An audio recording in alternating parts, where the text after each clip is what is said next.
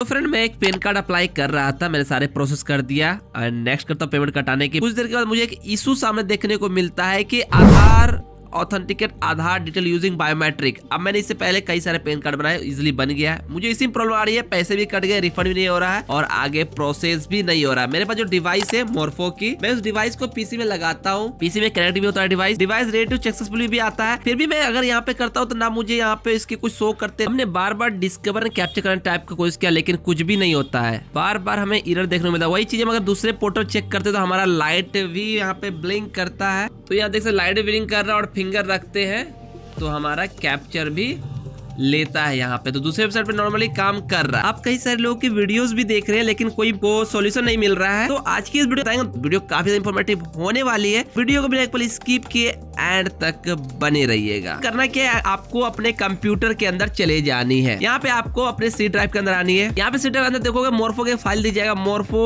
R D service zero soft करके बड़ा सा फ़ाइल मिलेगा। इसके ओपन करना है। यहाँ ऊपर छठा फ़ाइल जो होगा config setting dot I N I करके इसे आपको ओपन करना है। यहाँ पे आपको सावधानी बरतना कुछ छेड़छाड़ मत करना, नहीं तो आपके डिवाइस काम करना बंद कर देगा। यहाँ पे आपको ढूंढना है कम्युनिकेशन मोड जो आप नीचे देखो, यहाँ पे आपको कम्युनिकेशन मोड दिख जाएगा।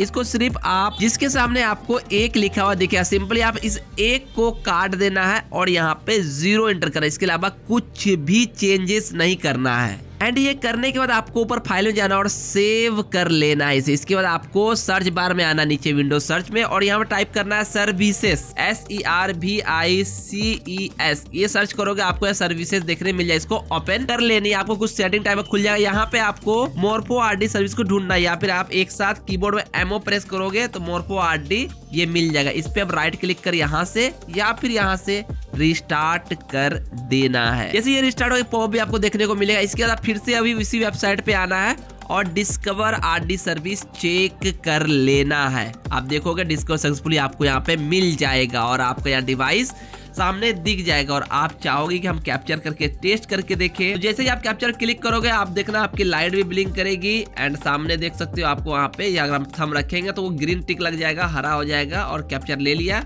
वहाँ देखो हमारा साउंड भी किया और सक्सेस ले लिया। ये तो फ़र्स्ट स्टेप की बात जिसका काम कर गया है वीडियो को लाइक कर दे और चैनल को सब्सक्राइब कर ले। अब जिनका नहीं किया, वो क्या करेंगे? तो सिंपली आपके सामने एक वीडियो दिख रही है जिसमें मैंने सेकंड स्टेप बताया उस पर क्लिक करो और पूरा वीडियो थोड़ी लंबी होगी, लेकिन आप देखो, वो प्रोसेस करो, आपका हंड्रेड टेन परसेंट आपकी डिवाइस काम इजिली करने लगेगा।